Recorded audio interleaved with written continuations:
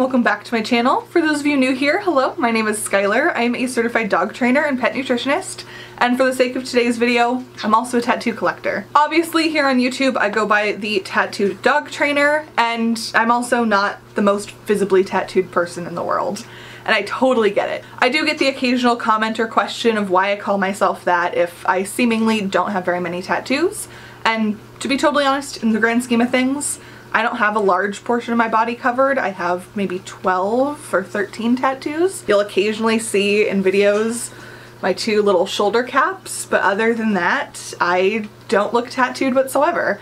Um, I do have a handful of tattoos and I figured showing you guys those that you don't get to see on camera all the time could be a fun way to kind of understand that aspect of me. Dogs and tattoos are kind of my big two hobbies and interests.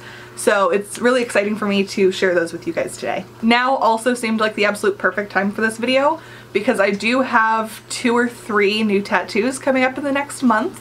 In fact, by the time you're watching this video, I'm already going to be having another tattoo on my body and healing. So it just seems like now's a good time to get you guys all caught up on the tattoos that I already have. So that way as I continue to collect more and more, we're kind of all on the same page. For this video, I'm going to do my best to go in chronological order, and I'll obviously talk about kind of the artist, the inspiration behind the tattoo, and whatever meaning that it has or the story behind it. As far as like price and pain and all of that stuff, I'm going to leave out of this video, otherwise it's going to get pretty long. But if you would like me to answer any of those questions about my tattoos in the future, definitely let me know. I'm totally open to doing as much or as little tattoo content as you guys want to see. So if you want to see more, definitely make sure to like this video and leave a comment below to let me know that. So let's go ahead and get on with the video. So my absolute very first tattoo was the tree stump down at the bottom of my ankle. This one I got like two weeks after my 18th birthday and I was super super excited. It was my first time going to the shop that I got most of my tattoos from. The tattoo itself was done by Max VK at Northwest Tattoo in Eugene, Oregon. The tattoo itself was inspired by some lyrics from one of my favorite Bastille songs. It's called Laughter Lines and I'll go ahead and throw those lyrics up on screen.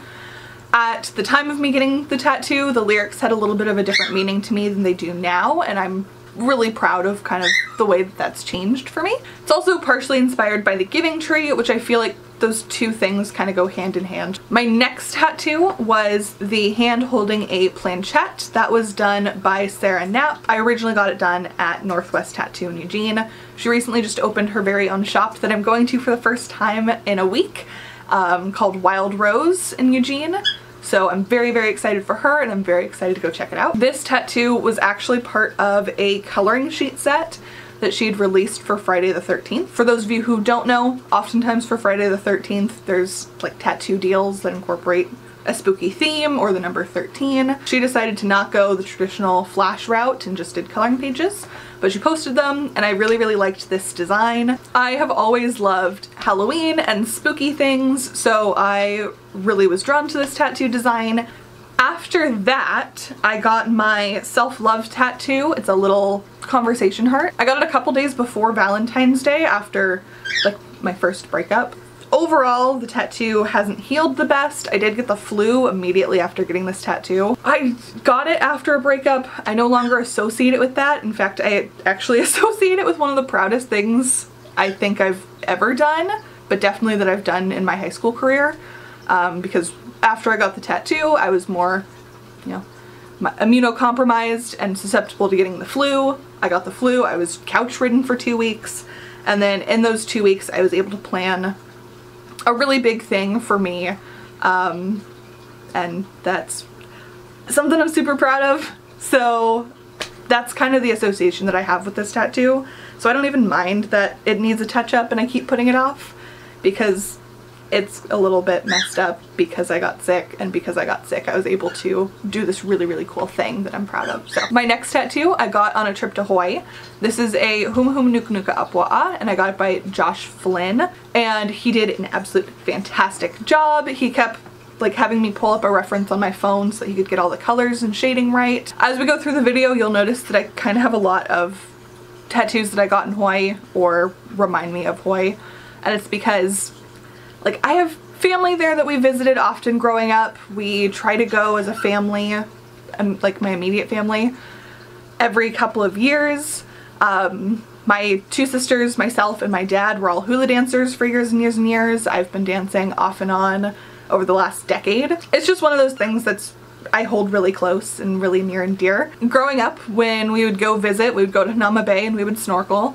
And one of the things that kind of got stuck in my head as a little kid was like to follow the humu humu and they'll show you all the good spots to snorkel. I don't really know where that came from. I think I created it in my child brain. Um, but it's still something I do today. If I see a humu humu, I'm gonna follow it because it hasn't proven me wrong yet. From a respectful distance, of course. This tattoo in particular is one of my absolute favorites and I think it turned out really, really nice. It's held up really well. I've had this one for four years now-ish. Um, and it's, it's definitely one of my favorites. After that, so my fifth tattoo, I got the Lady Luck with a deck of cards and some dice. This one I got while I was in Vegas being a nanny while someone got married. So they were doing a, a Vegas wedding she had kids. I was brought along to watch the kids while everybody else partied in Vegas, obviously. And part of my payment for that was, you know, a paid for trip to Vegas. And then she also paid for me to get this tattoo because I expressed, you know, interest in doing so. I got this tattoo done at Downtown Tattoo in Vegas and they, if you go in the shop, I swear, please go in the shop if you're in Vegas.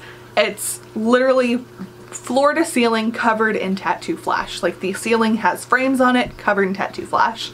So this was actually a flash piece that I just kind of picked off the wall and then customized a bit. Initially I think I went in there wanting a Queen of Hearts tattoo, but since I was a walk-in and it would have just been too much, I went with this and I actually really love this. It was originally a suit of aces, I changed it to queens and I put Lady Luck.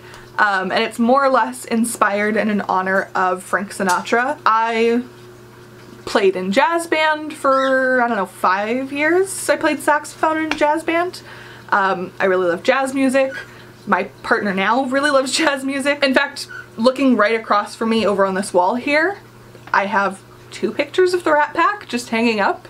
So this tattoo, I really like it. So next I got my knife tattoo. This one was actually the very first tattoo on my right leg. This tattoo was a piece of flash done by Alexa Brooke Tattoo back when she was a tattoo apprentice. And so with that, an apprentice tattoo, they're usually still practicing. Um, but this was towards the end of her apprenticeship and so I decided to get the tattoo in order to, you know, have a fun tattoo um, as well as kind of help her through her tattoo journey.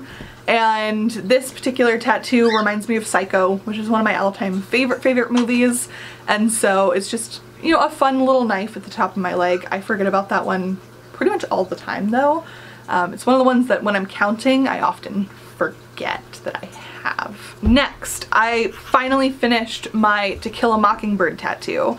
So this one is To Kill a Mockingbird. It was done by Sarah, who also did my little planchette tattoo. And this one took me two sessions. I was not having it the first day. I'm a very sensitive person, both emotionally and pain tolerance wise and sensitive skin wise. Um, so when I get tattooed, it's my the actual act of getting tattooed, my least favorite thing in the world. I like to put it off. I love the artwork. I'm a wimp. I'm a little baby when it comes to pain. This one took two sessions to finish. Um, it's inspired by To Kill a Mockingbird, one of my all-time favorite books. I've read it multiple, multiple times. So this tattoo is a mockingbird and it has some pink azaleas, which are the flowers that Miss Maudie grew in her garden. This is one of my favorite tattoos just because it's done really well. It's a gorgeous tattoo and it symbolizes, you know, one of my absolute favorite books. So this is, I love this one. This is a great one. I love all my tattoos and I can justify why each one's my favorite, but I, this one's one that I look at a lot. Next is my whale tattoo. This was done by Matt Myrdal on Maui. This was during another trip to Hawaii with the family and when I went, and we often go during you know, whale mating season, whales are often done in more traditional tattoos as well. So when you look at kind of American traditional tattoo content, you'll see a lot of things like sharks and ships and anchors and you'll occasionally see whales and so it's always just kind of been rattling in my head as something that I would like to get um, just because it does have more of a traditional tattoo symbolism, but in the more neo-traditional style that I really, really like. And so this tattoo here, it was probably my biggest tattoo when I got it uh, compared to all the rest of them. It honestly did not hurt as much as a lot of the lower leg tattoos, so thank God for that. And after I got this tattoo, like four other people got similar tattoos from Matt, and so that was really, really cool to see that I kind of started a trend. After that whale tattoo is when I kind of started to muster up the nerve to actually migrate my tattoos to the top half of my body. I am wanting to do kind of nature Pacific Northwest inspired sleeves for my arms. And so to start that off, I got my owl tattoo.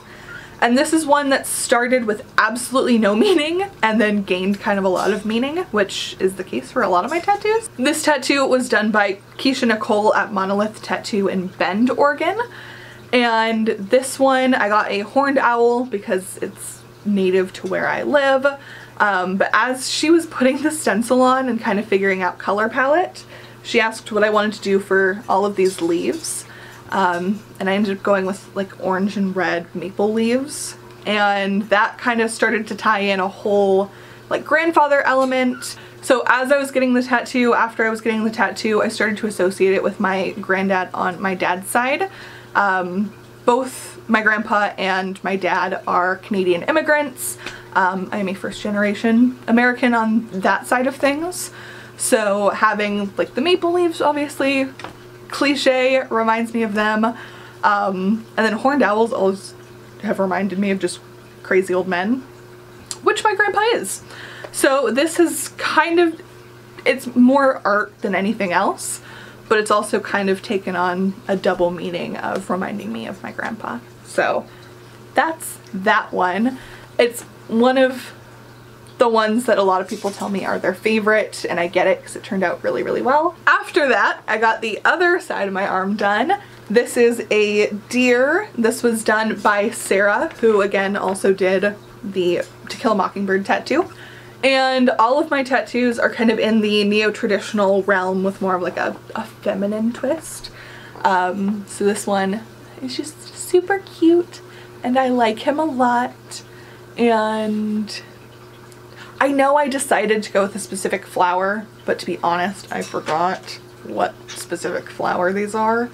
Um, I can absolutely look up because I wrote it down somewhere, but I don't have time to go rifling through pages of notes right now. So you can just appreciate it for what it is a really nice tattoo. So my second most recent tattoo, this one I got December of 2020 and it's a little resist fist holding a daisy. This tattoo was done by Alexa and inspired by a piece of flash from Ashley Love. And this tattoo has kind of a lot of different meanings for me, I guess. I'm a very passionate person. I have a lot of things that I'm very passionate about. And while I would love to get a tattoo for every single thing that I'm passionate about, I would end up with a body completely covered in just politically charged things. So rather than doing that, um, I got a little resist fist to try to encompass all the things. This was obviously also done after the murder of George Floyd and all of the protests and I can't take that heavy meaning away from the reason why I got this. Um, obviously, getting a tattoo is not going to solve anything, um, but you know, it's, it's one of those things to kind of remind me of the time and of my privilege and hopefully when people ask me about it I can go on a mini rant. Um, so not not only is it inspired by that, it's inspired by all of the other things that I'm passionate about and represents all of those things, but especially after that summer, um, I was rearing and ready to go. So it's one of my newer tattoos. I got that one while my sister was getting her first tattoo. She wanted a tattoo buddy, so I was like, I finally can do this. Um, so that's kind of that tattoo. And that leads me to my most recent tattoo and that is the Honu with a hibiscus fur shell on my leg. This tattoo was done by Bouge at Mid-Pacific Tattoo in Maui. And this one, my dad's very first tattoo was four Honus with hibiscus for shells um, in the corresponding colors for all of my siblings. And so I got this kind of in honor of that. I've associated with red with my parents because we all had colors growing up. I don't they got red. I don't know. In my mind, at least. While we were there, all of my family members got tattoos and then me and both my sisters both got turtles. So I got this one. My sister got her very first tattoo and she got a honu with a hibiscus shell. Um, my other sister, who had already been tattooed once at that point, got a really big semi-realistic turtle on her thigh and that turned out super, super cool. Um, so it was one of those things that kind of matches my sister's, reminds me of my parents, kind of matches a tattoo that my dad got in honor of us kids. Um, and it just turned out really, really cool. So those are all of my tattoos as of now. Like I said, by the time you're watching this, I'm gonna have at least one more. So be sure to stay tuned. Follow me on social media. Tattooed.dogtrainer is my personal, more YouTube account.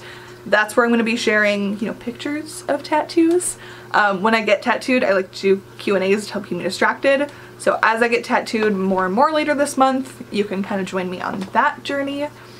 And you can also follow me on my business account that's at Top Dog Behavior for more of like the daily dog posts. If you enjoyed today's video, if you would like to see more tattoo content, if you have other questions for me regarding tattoos, leave those down in the comments below and be sure to give this video a like. I'm totally cool doing as much or as little tattoo content as you guys want to see. I obviously get a little excited about tattoos. Like I said, they're my second passion, um, but I totally get that this is primarily a pet channel, and if you guys just want to see pets, I'm totally cool with that. So if you're interested, if you don't want to see any more, let me know down in the comments below and I can kind of work that into whatever. If you haven't already, be sure to subscribe to my channel for more content.